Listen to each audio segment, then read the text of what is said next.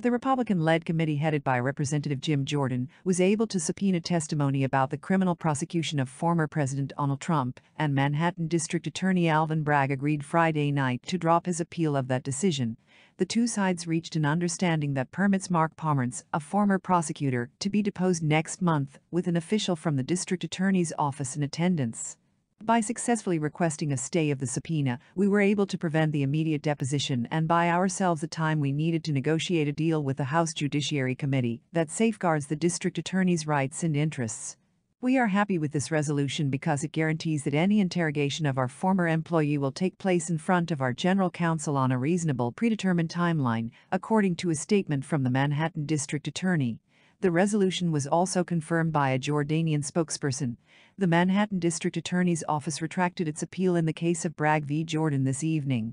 We anticipate Mr. Pomerantz's appearance at the deposition scheduled for May 12, said Russell Dye, a representative for Jordan.